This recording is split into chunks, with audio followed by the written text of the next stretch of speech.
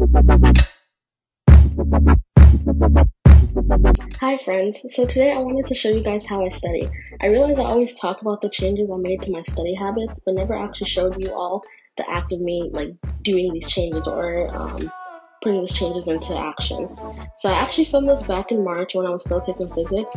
I got super busy that I never actually ended up using this footage, but I was downloading other videos from my memory card when I saw this old footage and I said to myself, this content must not go to waste. So here I am making a video this one instance, I was studying in my room because I couldn't study anywhere else, but I almost never study in my room because I do not mentally associate my room with productivity.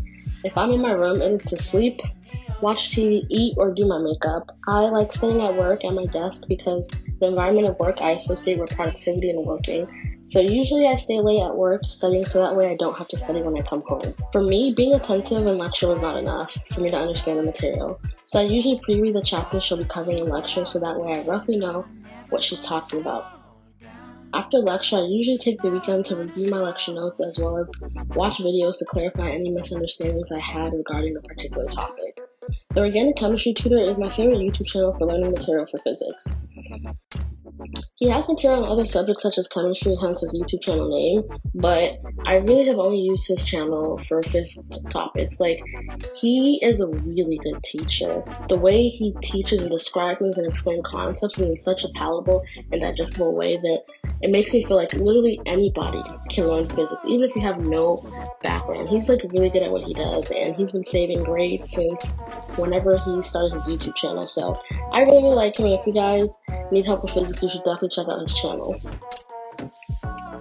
I really like having different colored pens because I need to highlight and break my notes into subsections. So the colors help me distinguish between topics and chapters and things that, you know, I'm talking about. And it also makes my notes look a lot prettier than if it was just in black ink.